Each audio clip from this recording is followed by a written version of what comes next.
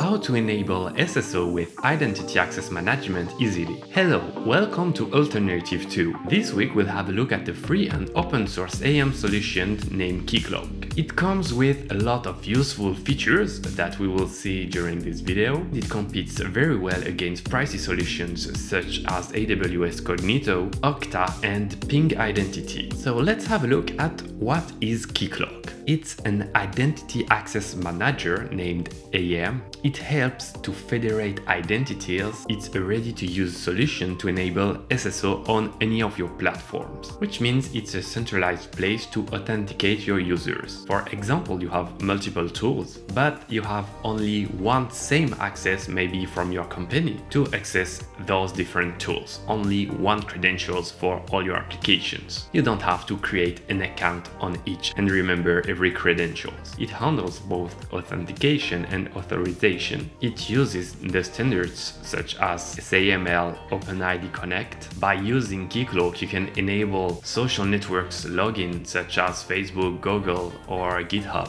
It can be deployed on your servers directly or on containers or Kubernetes. Let's set up our Keycloak instance on Elestio.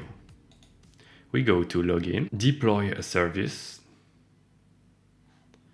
search for Keycloak. Then I will just keep the default settings and next. Again, create service and we just have to wait it to be deployed and we will receive an email as soon as it's done. Okay, I just received a mail that my instance is ready. Now we can use it. So click here. We have different options, but what will interest us is the administration console but as it is my first time going in, I'm asked a user and password. So username is root and I have to open Elestio to get my password. As usual, go to admin UI and click to copy the password.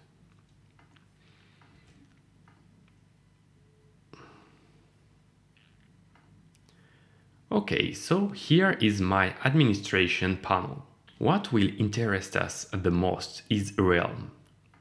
Here you have all the setup to enable SSO for your company using what is called Realm. Let's have a look at what it is. You go into Clients and Account. You can have a URL here by default as I am already logged in, it opens me my instance. So open in, in incognito window. And now I'm not logged in. So I have to click on sign in and we have the Realm login page. We can see that we can't subscribe. We can just log in with our username or email and a password. So what we can do is going into our Realm settings. We have a lot of options. For example, here we can say it's Elestio. If we save, later we should see that it's renamed also here.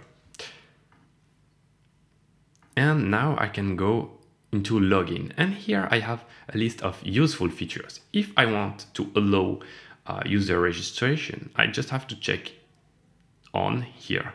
If I want to enable forgotten password, I enable it too. Remember me, I won't set it on. We have a fine-tuned controls about the features we want to provide. If you are used to develop your own login system, you know it's a lot of effort. But here with Keycloak, it's out of the box. You are sure it's ready to use and you can focus on what really matters for your business instead of the login uh, and registration forms. Now we enabled user registration. Let's reload this login page. And now we can see the features we just enabled are here. So new user, I can register or I forgot my password, I can put my username or my email. You must wonder where are the emails coming from? So you can set it up here. So you can have all the information here, but also choose the host, the port, so it's sending the emails from your servers and it's secure and you're sure it won't be in the spam folder. Okay, so you can select a lot of different options here, but we won't go too deeply into it. You can go into identity provider and now enable a lot of social providers or use the standard options. If we look at GitHub, all we have to do is create an application inside GitHub and copy paste our credentials so we will be able to, to log in with our GitHub provider.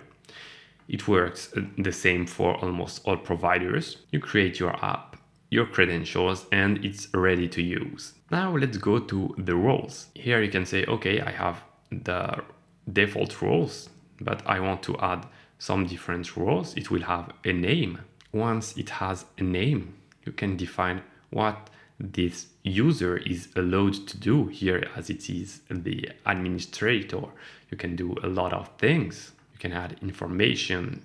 Uh, you can see the list of users which have these roles and use fine-grained permissions. Even if there is this UI ready to use that you can customize a little bit, maybe you want to create your UI and it's totally possible because they provide an API, a REST API that you can use to create your own user experience. If you also want to have this page embedded in your React application or in your React Native mobile application. There are useful GitHub repository to do so, as React Keycloak and React Native Keycloak. Thank you for watching, I hope you enjoyed this discovery of Keycloak. As always, if you find this video useful, please hit the like button to help us be more visible over YouTube. If it's not already the case, please subscribe to this channel to be informed when there are new Alternative 2 episodes going out. Thank you for watching, bye bye.